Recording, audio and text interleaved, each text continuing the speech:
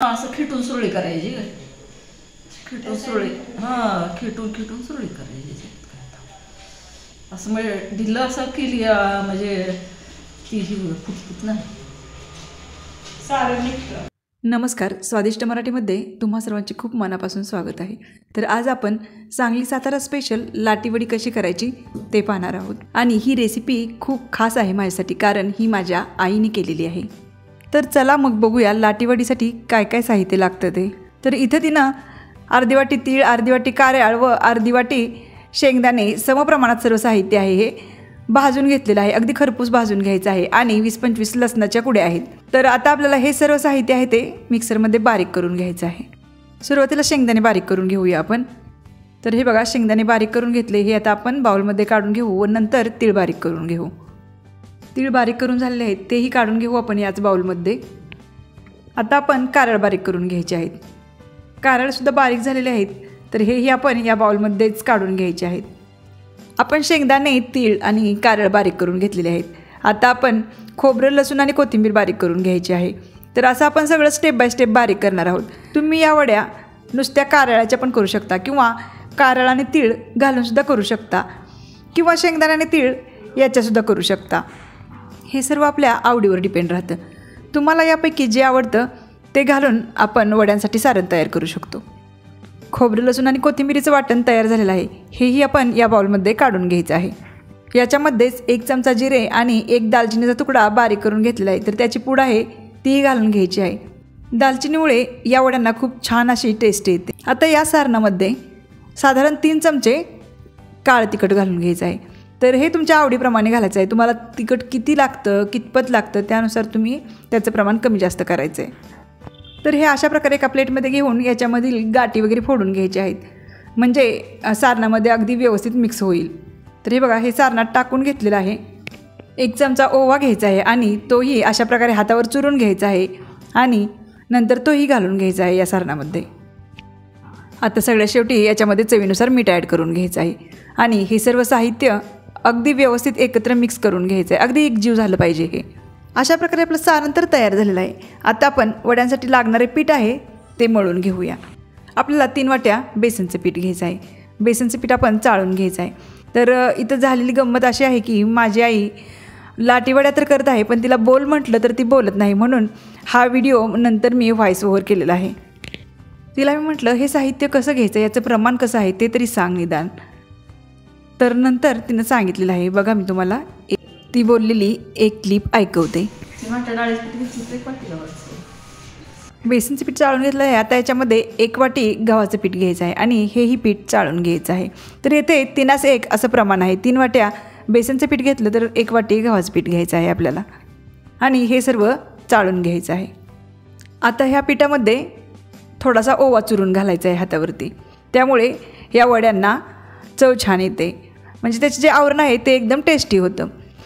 आता याच्यामध्ये पाव चमचा होईल इतपत हळद टाकून घ्यायची आहे आणि थोडंसं जिरेपूड आणि दालचिनी पूड टाकून घ्यायची आहे. याच्यामुळे पण जे वरचे आवरण असतं त्याला टेस्ट एकदम छान येते. तसेच चवीनुसार मीठ ॲड करून घ्यायचं आहे.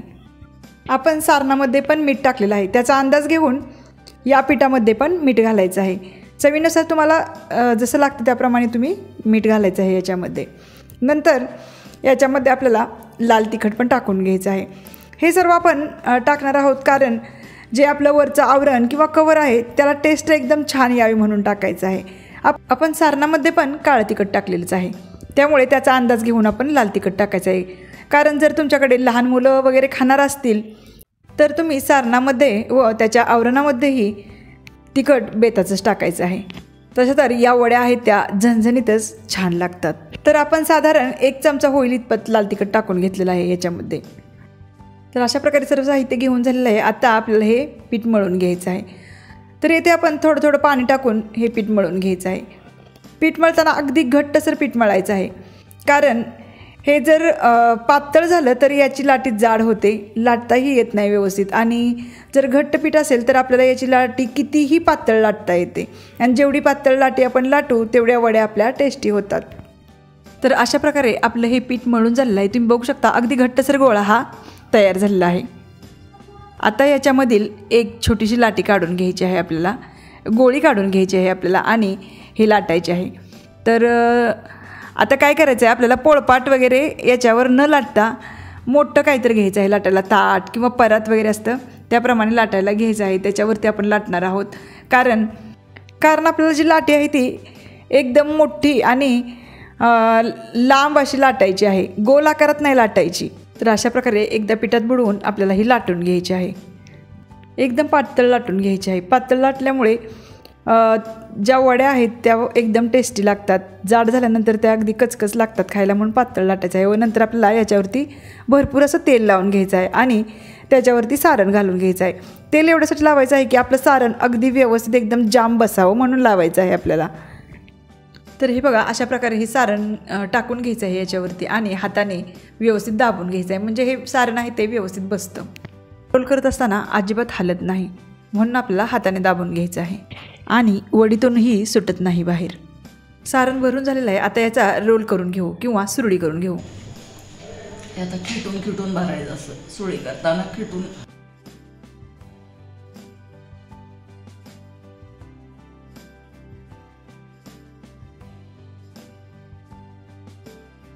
हां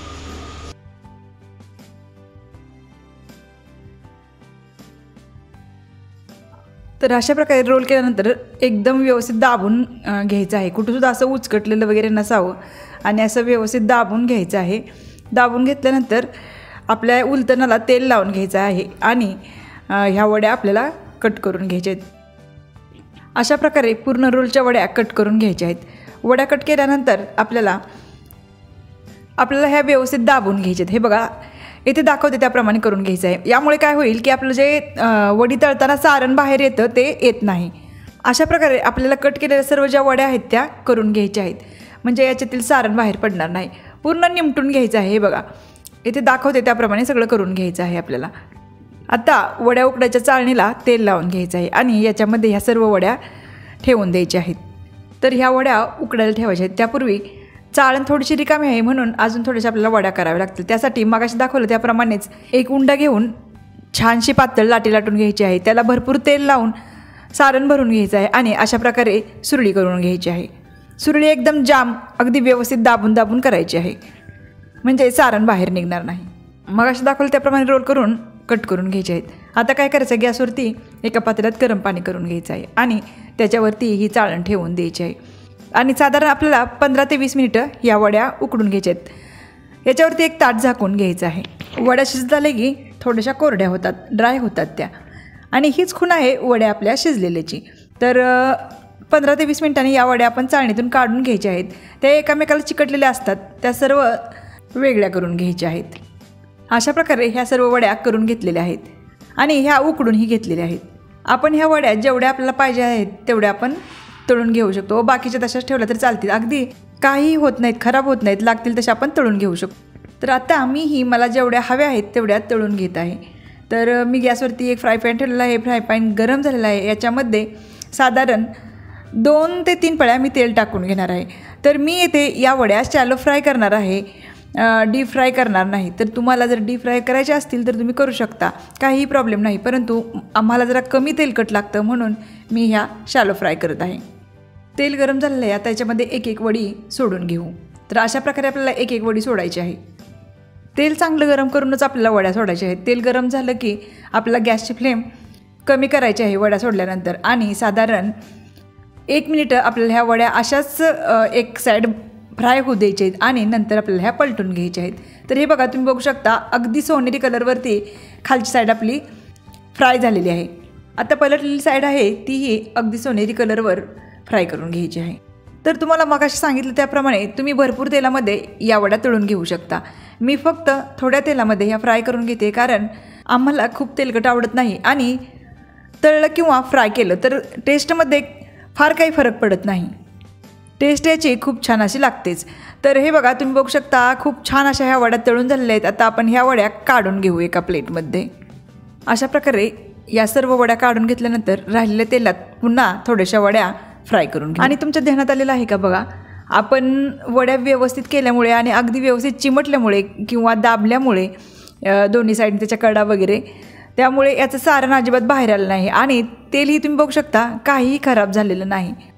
ह्या ज्या वड्या आहेत त्या खूप दिवस टिकतात. प्रवासात वगैरे आपल्याला नेता वगैरे येतात. याच्याबरोबर तीळ लावलेली बाजरीची भाकरी आणि ह्या लाटीवड्या एकदम टेस्टी लागतात. आणि माझी आई नेहमी आम्ही म्हणजे भावांड सहलीला किंवा कुठं चाललो तर अशा प्रकारच्या वड्या आणि बाजरीची भाकरी करून द्यायची. आणि ह्या वड्या आम्हाला पूर्वीपासूनच खूप खूप आवडतात. दहा बारा दिवस तर या वड्यांना काहीच होत नाही बघा. तर ही रेसिपी तुम्हाला कशी वाटली? तुम्हाला जर ही रेसिपी आवडली असेल तर व्हिडिओला लाईक करा शेअर करा आणि चॅनलला सबस्क्राईब करा. पुन्हा भेटू अशाच एखाद्या छानशा व्हिडिओसोबत तोपर्यंत धन्यवाद.